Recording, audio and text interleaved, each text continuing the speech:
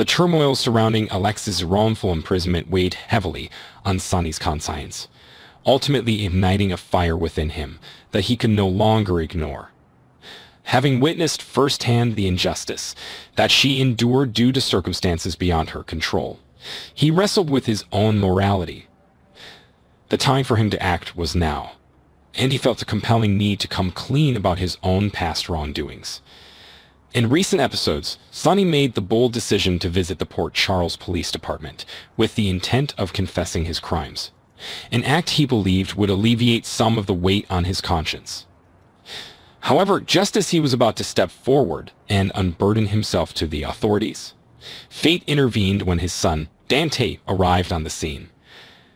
While it's unclear whether Dante tells Sonny that the police have obtained the gun that cleared Alexis, his intervention gives his father a little more time to be free. As a result, Martin barged in and berated Anna for not informing her that they had found evidence that proved Alexis was innocent. His irate intervention became a backdrop against which Sonny inadvertently continued to enjoy his moments of freedom. However, despite this small respite, Anna was not one to allow the situation to rest easily on its laurels. She was determined to pursue the truth relentlessly, and Sonny's temporary reprieve was only fueling her resolve. Alexis is back home, but that doesn't mean the Cates case is closed.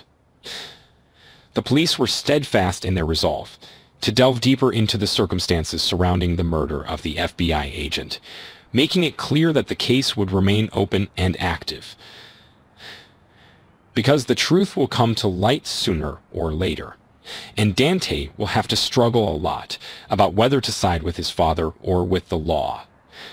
Inevitably, it seemed as though he would choose to prioritize Sonny's protection over his obligations to law enforcement.